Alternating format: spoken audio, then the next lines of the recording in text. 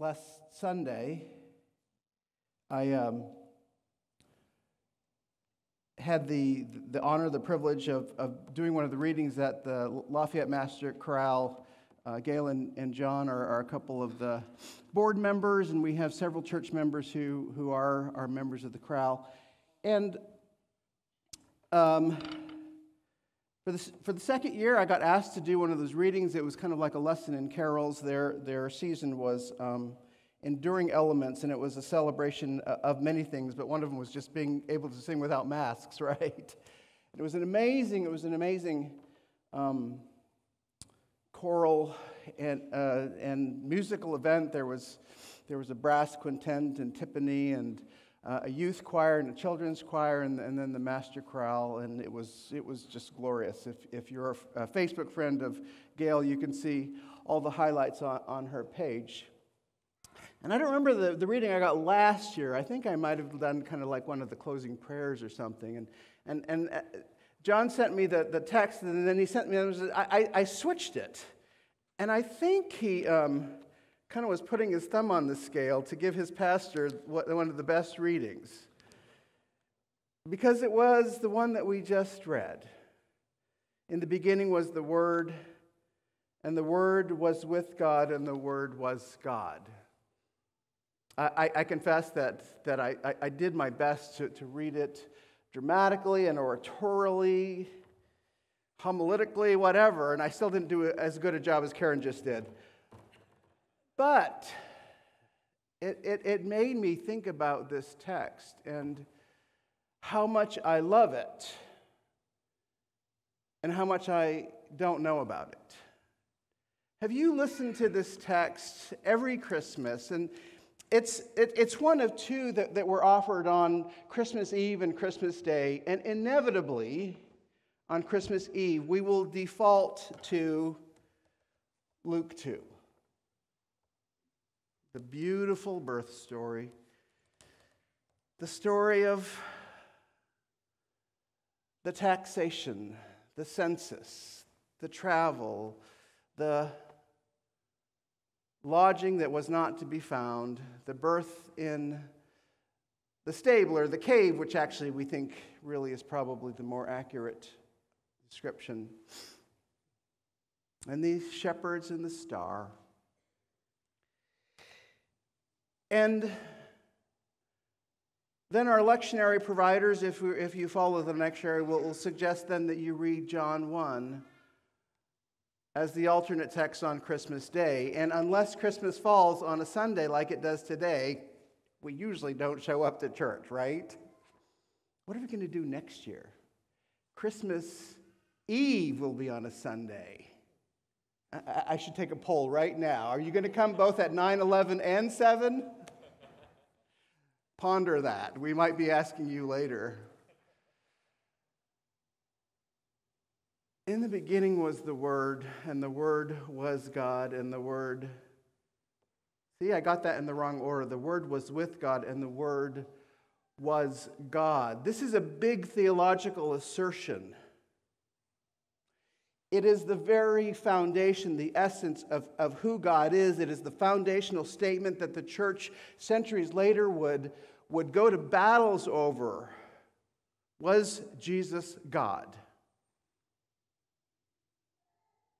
Was the Holy Spirit part of God? These, these Jesus wars that happened as, the, as this movement centuries later would all revolve around some of the centrality that John lays out in this very intricate, sophisticated theological statement. In the beginning was the Word, and the Word was with God, and the Word was God. What is the Word? It's not what is the Word, who is the Word? The Word is Jesus. In Greek, we say logos. Logos. The Word is Jesus. I've, I've, I've used this text before, and, and, and, and, and, and what, what feels like almost blasphemy in, in this kind of reorientation of, of Christianity in our culture and, and some of the ways that we've kind of entrenched the, the, the conversations about what is, what it means to be a Christian in the United States and belief and, and, and where the Bible's placed. And, and, and the, the word is the Bible so much that, that, that we, we use language around that. And the word is not the Bible, the word is Jesus. In the beginning was Jesus. And Jesus was with God. And Jesus was God.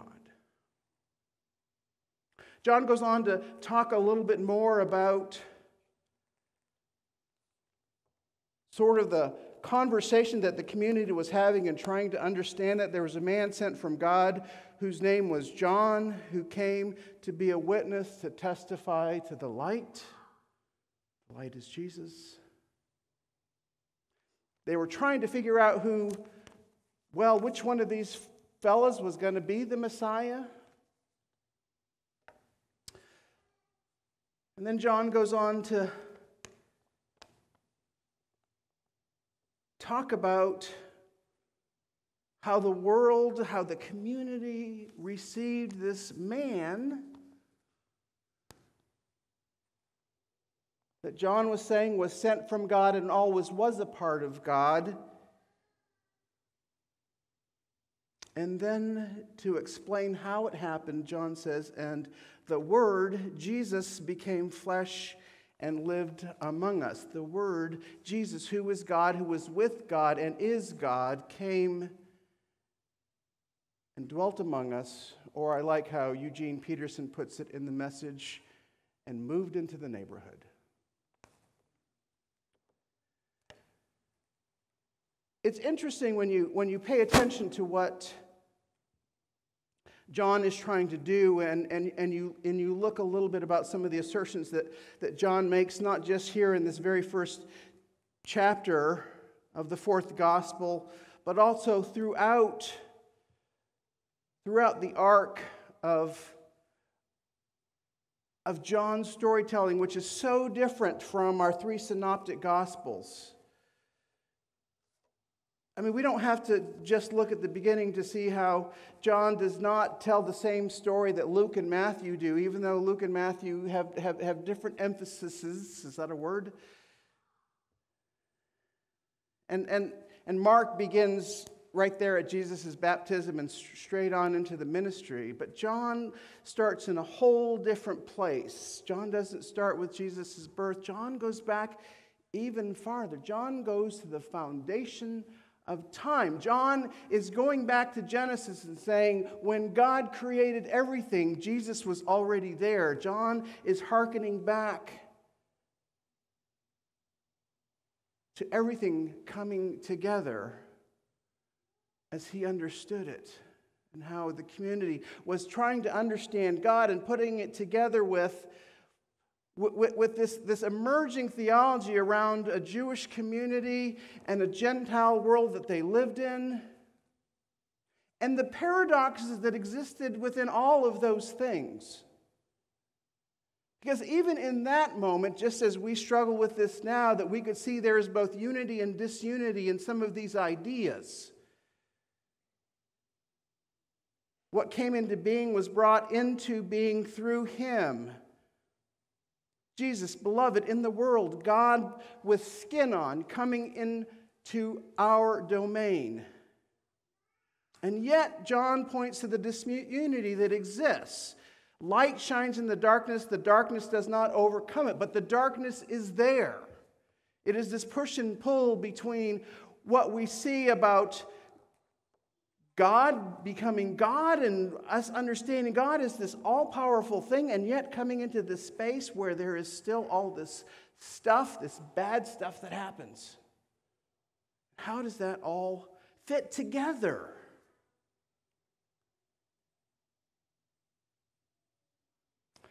Marianne Meye Thompson says, the calling that calling Jesus God's word means that he is God's self expression, God's mind, God's thought. It is God's interiority spoken aloud.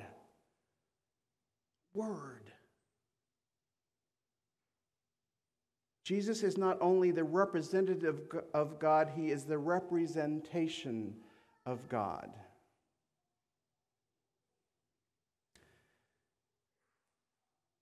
I sometimes th- think back to um, my seminary days and, and, and, and those, and, and for me, who it wasn't as long ago being a second career pastor kind of guy, unlike, sorry, Glenn, you're here, so I get to pick on you, right?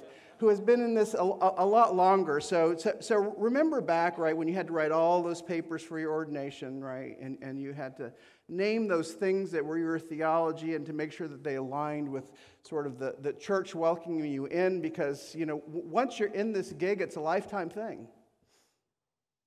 And, and I remember, like, well, first I, I know what they want me to say, and then I know what I want to say, and you, you put all those things together. Because I, I know that in, in my mind, I, I sort of had this this acknowledgement of, of, of, this wide place that we as Methodists are in. And, and, and there are those folks that sort of uh, want to kind of hold on to, how do I say this, kind of sometimes a little bit of a narrowness around our, our orthodoxy that need to hear a certain thing. And those that will allow us a little bit more of an expansive posture. Those of us who acknowledge that we live in a pretty complicated world. And where does that, that theology fit in? Because, because, because we know that there are going to be places in different communities where, where, where you're going to have to navigate people with this whole wide spectrum of understandings about who God is and find ways to have language to talk about those. And I won't get into every one of those sort of, sort of deep and, and, and, and sticky potholes that one can get into with our theology, especially with, with our connection as United Methodists, because we'd be here all day. But I remember thinking about, you know, how, how do I describe this language of Jesus? And, and, and what, what worked for me and, and, and what suited me was that Jesus is that best expression and the one that God sent. Because we, we had been on this trajectory since Genesis, right? And, and, I, and I can acknowledge, and if you're not with me on this, it's okay, but I can acknowledge that this, that this, this Genesis epic, this, this creation myth story, right, is not a literal thing. I went to college. And I know that, and I know that, that, that our scientific minds are, are, are, are ever learning things. You know, last week Corey preached about string theory, and, and he said that, you know, remember when you went to science class and, and, and, and you, you learned about atoms and quarks? And I'm like, wait a minute, they didn't have quarks when I was in science class. I'm that old. It wasn't one of the things that we measured. You know, our mind, and, you know, just this week we heard about we heard about the, the, the new photographs that are coming back from the, from the new big telescope. What's the name of that telescope again? Uh, the Webb telescope, that's right. It's, it's, it's massive. It's this big gold telescope that, that, that just puts the old Hubble to shame. Right? And we have this God of this cosmos, which we are learning more and more about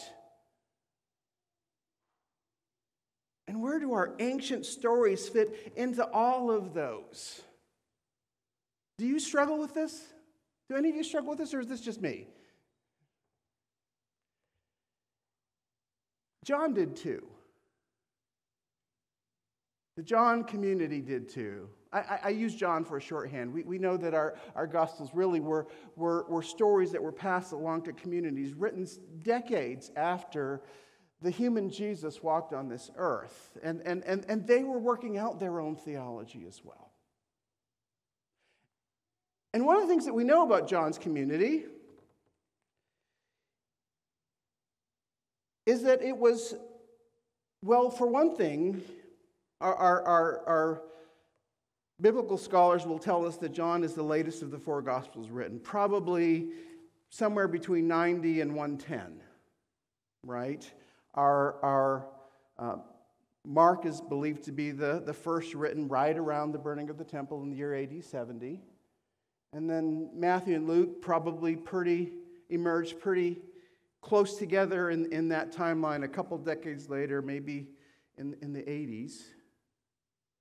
And then John emerges at least a decade or two later. So, so you think, look how much our world has changed in 20 years. Somebody was telling me last night that, that they couldn't. Um, uh, they couldn't watch our live stream. They wanted to, but their, but their computer was, was, was too old. It was from about 2000. Corey and I were standing there. Do you remember your computer in 2000?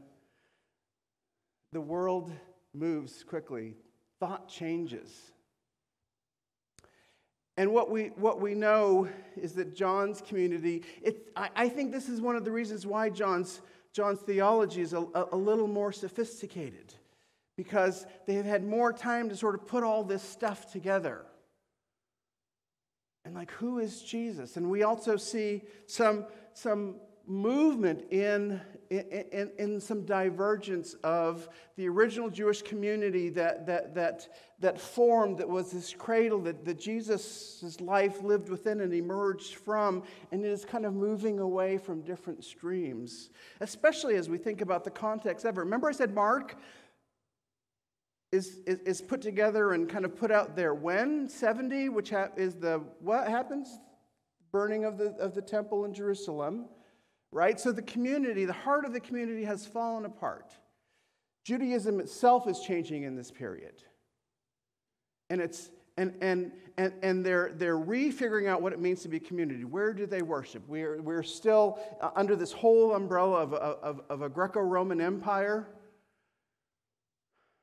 Just last night, we read about censuses and governors and kind of pulling the strings of a community that is, does not have a lot of control.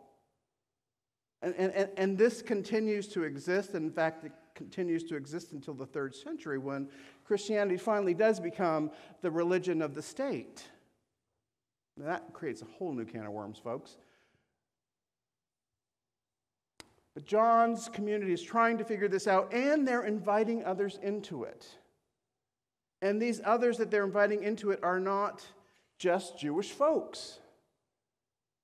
John, John's community is reaching out. They're multicultural. They recognize that there's a, a wider world around them and they have something to share and to offer. And some of those are the what we call the Greek community, but I would say the Gentile community. And so this, this logos is important because of that.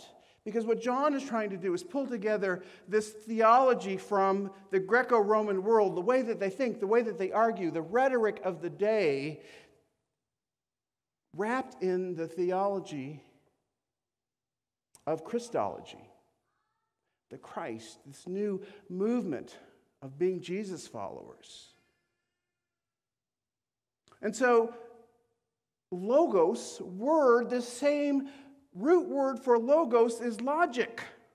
They're trying to make this logical argument and fit all this together.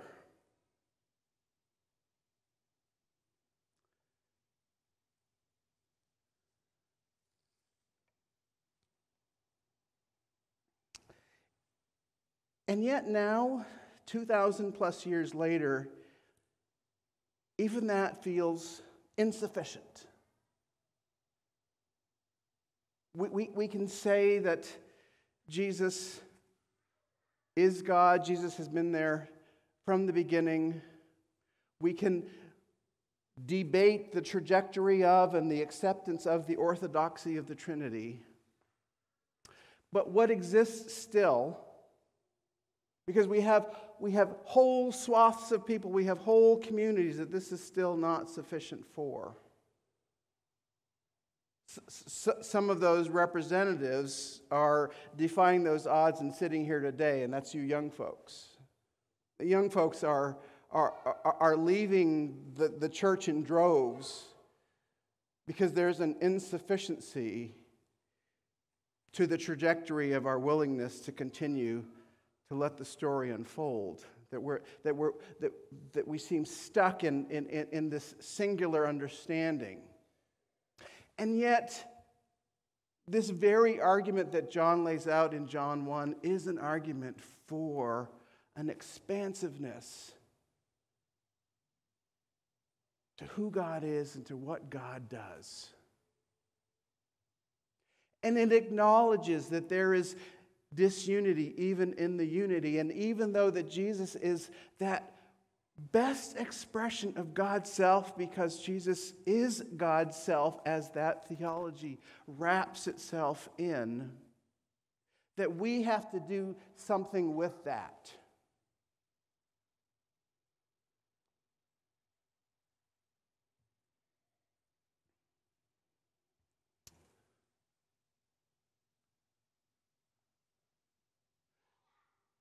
And on this day, when it would be easy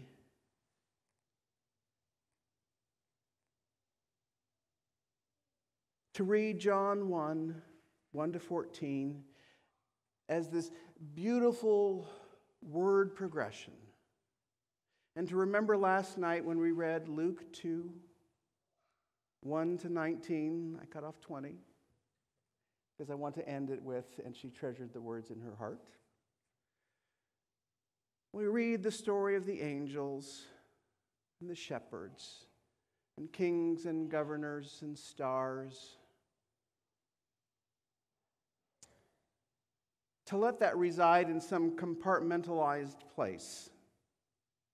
And that our, our lives in the world and our, the things that we do outside of Sunday stand apart from all those things.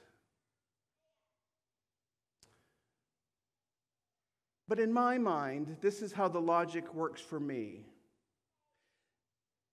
That if Jesus was God, and Jesus was with God, and Jesus moves into our neighborhood and becomes flesh and we take that theology and, and, and, and, we, we let Paul have his, his hand in it and, and, and create some new ways for us to think about it and remind us that we are, we are the body of Christ together.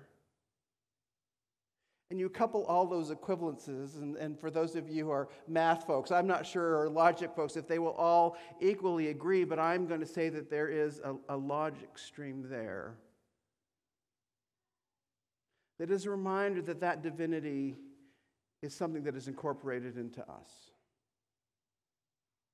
That that's the essence of this, this theological idea, imago Dei, the image of God, the one that we believe is in everyone.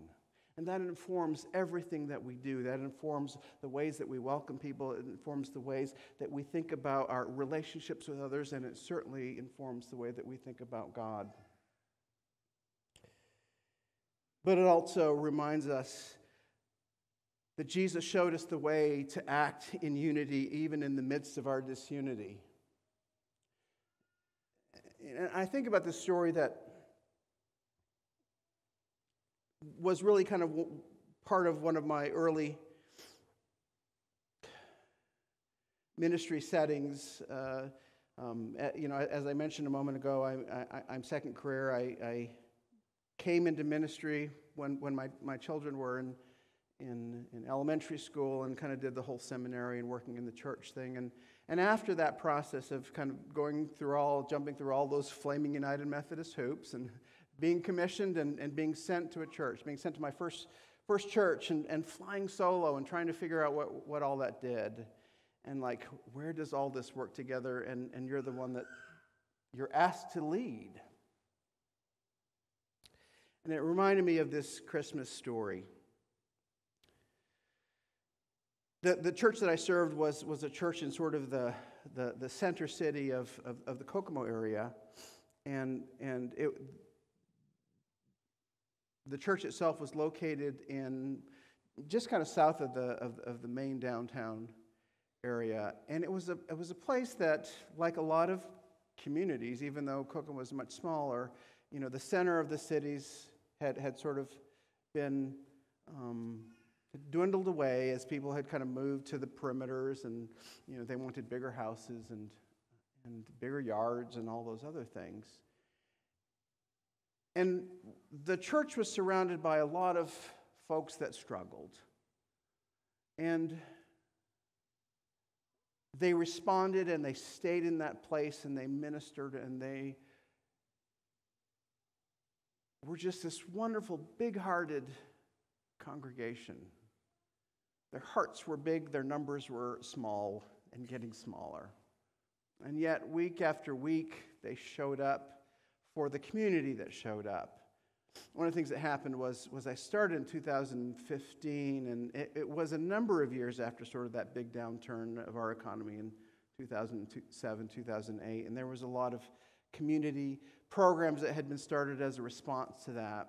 And, and, and, and Kokomo had been hit particularly hard simply because of the, its industrial base. Of course, most folks know that it was kind of a car building town and um, a lot revolved around uh, Chrysler and General Motors and different subsidiaries that, that and the town literally had shrunk to half of its size in, in less than a decade. It had gone from, from over 110,000 people to about 56,000 by the time I got there. And of course, we know what happens when, when those numbers shrink. Those that, that have employment the economy go to the places where that is, and those who don't stay behind. We had a lot of expressions of that. And I remember this, this one person who, who, who would come into the, to, the, to the church a lot and um, I'm going to call her Kelly.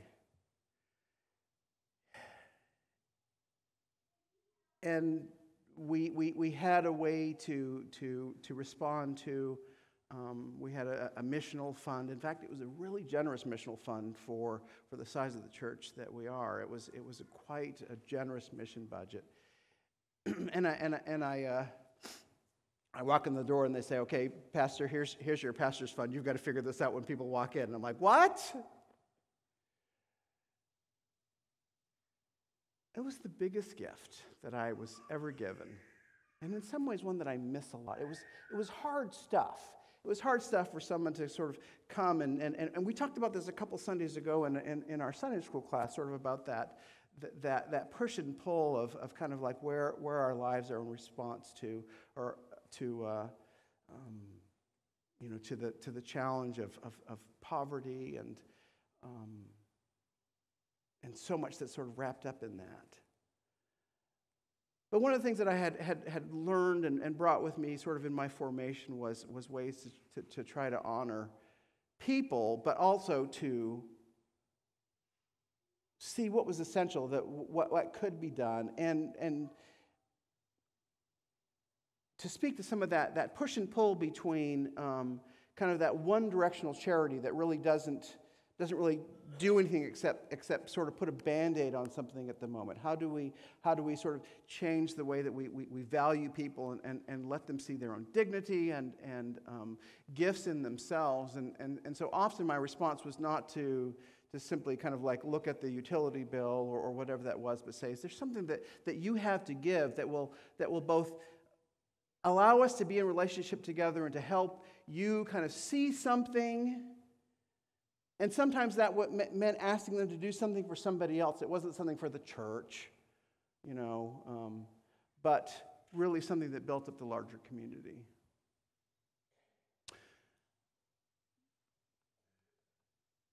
I would, I would ask, you know, what are, your, what are your gifts and your talents? But sometimes it was like you, you just, you've just got to throw money at it because there, there's, there's health at stake. And this was one of those times. And so, so, so Kelly uh, uh, was in this really difficult spot. She, she, she had a health condition that, in, in my mind, legitimately qualified her for disability, and yet over and over those disability claims would, would be rejected. And she continued to, to pursue that, but was in a place where she, she literally could not work because of the, of the health condition that, that she had. And she, she would come and she'd, she'd like want to help out around the church, and she was wonderful. And, and, and her, she said her, her gift was like making things better, be better, look better. She, she enjoyed, um, um, you know, working in people's homes, cleaning houses, and, and all those things, but just, but just had limitations to how much she could do. And, and she would just come to the church and, and to do that, and so, you know, she's like, I don't want anything in return, I just kind of want to help out. And, and she became this beloved person in our lives. But there was this, this one time when she said, I need a copay for this medicine and I don't have it. And and I said, Yes. I mean, you need this, right? And and we we dipped into the missional fund and, and I, I she didn't drive, so I, I gave her a lift to the to the drugstore where she was going to pick it up. And um, as I'm walking out the door, my, my church secretary hands me an envelope and said, Give this to Kelly. I'm like, what, What's this? And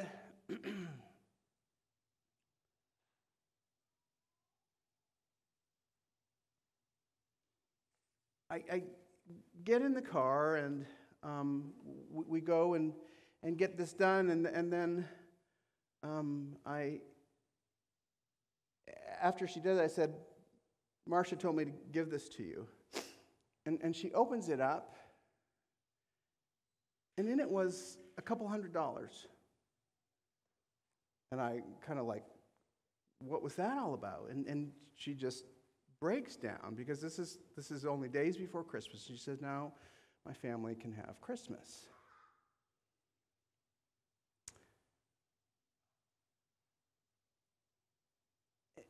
That in itself was, was a, a, beautiful thing that I had the privilege of being a witness to. And I go back to the church and I say to Marcia, I said, What was that?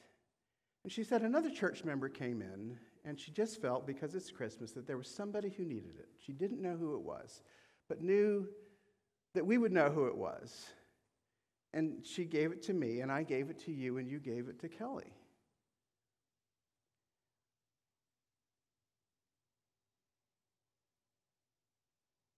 The systems had failed Kelly. And yet, God did not. And the community did not.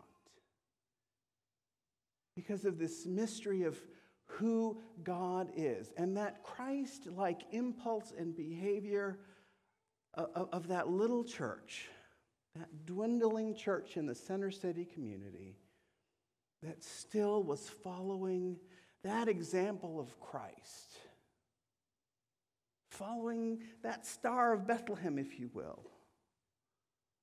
That in the disunity, God invites unity, and God showed us what that unity is like in Jesus Christ.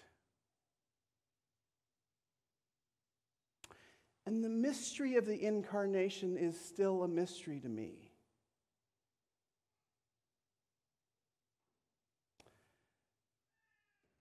And that's okay.